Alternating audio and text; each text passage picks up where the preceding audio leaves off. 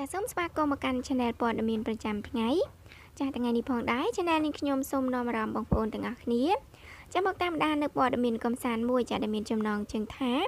ផ្ទុះកំហឹងបន្ទាប់ពីតារា K-pop សេងរីនិងអ្នកជាប់ពាក់ព័ន្ធត្រូវបានដោះលែងឲ្យមានសេរីភាពចាប្រជាជនកូរ៉េខាងត្បូងជាច្រើនបានសម្ដែងការខកបំណងនិងខឹងសម្បាយ៉ាងខ្លាំងហើយបានដាក់ញត្តិចា ដាក់ញត្តិប្រឆាំងចំពោះការរំសាយនៃការចាប់ខ្លួនចេញដោយចៅក្រមដែលពាក់ព័ន្ធទៅនឹងអតីតសមាជិកក្រុម Big Bang លោកសេងរីពីបទជួញដូរបេសកចាកន្លងមកនេះនៅក្នុងញត្តិប្រឆាំងមួយចាអ្នកប្រើប្រាស់អ៊ីនធឺណិតជាច្រើនអ្នកបានកត់សម្គាល់ថាចៅក្រមដែលកាត់ក្តីសំណុំរឿងនេះចាសំណុំរឿងមួយនេះបានធ្វើឲ្យសាធារណជនមានការក្តៅក្រហាយជាខ្លាំងបន្ទាប់ពីបានរំសាយដីកា ចាប់ខ្លួនសេងរីនិងបងធំជួញដូរគ្រឿងញៀនបេសចាចាចាបេសចាចាជនជាតិចិនម្នាក់នេះបើយោងតាមសារព័ត៌មានចា Street Time ទើបតែបានចុះផ្សាយការពីពេលថ្មីថ្មីនេះនៅក្នុងញត្តិប្រឆាំងនេះបានសរសេរថាយើងពិតជាងឹងឆ្ងល់ជាខ្លាំងចំពោះចៅក្រមថាគាត់ជាមនុស្សពុករលួយឬយ៉ាងណាយើងចង់បានចៅក្រមម្នាក់ដែលមានបេះដូងមនសិការកាន់ក្តីដោយយុត្តិធម៌ពិតពិត ការរំសាយដោយការចាប់ខ្លួនអតីតតារា K-pop រូបនេះពិតជាធ្វើឲ្យប្រជាជនកូរ៉េខាងត្បូងជាច្រើនអ្នកអស់ជំនឿទៅលើប្រព័ន្ធតុលាការកូរ៉េខាងត្បូងជាខ្លាំងគណៈពេលដែលញត្តិប្រឆាំងនេះមិនបានបញ្ជាក់ឈ្មោះ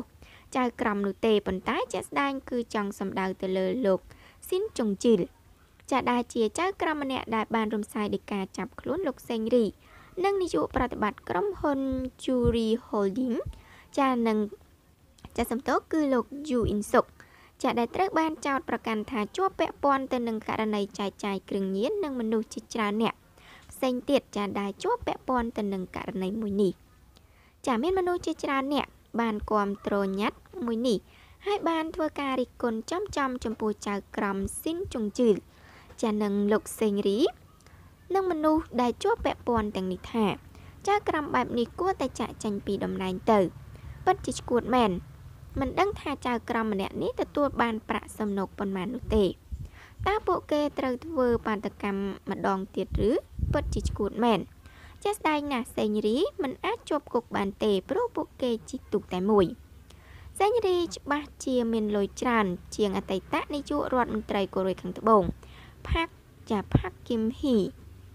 ជាក់ជាមិនខានដែលឡែកចំពោះមន្ត្រីប៉ូលីស ជាន់ខ្ពស់ម្នាក់ដែលត្រូវបានចោទប្រកាន់ពីបទទទួលសំណុកពីលោកសេងរីកាលពីមុនត្រូវបានរកឃើញថាគ្មានទោសនោះទេចាអញ្ចឹងចំពោះព័ត៌មាននេះដែរគឺមានតែប៉ុណ្ណឹងចាសូមអរគុណសម្រាប់ការតាមដានស្ដាប់របស់ពុកម៉ែបងប្អូនផងដែរចា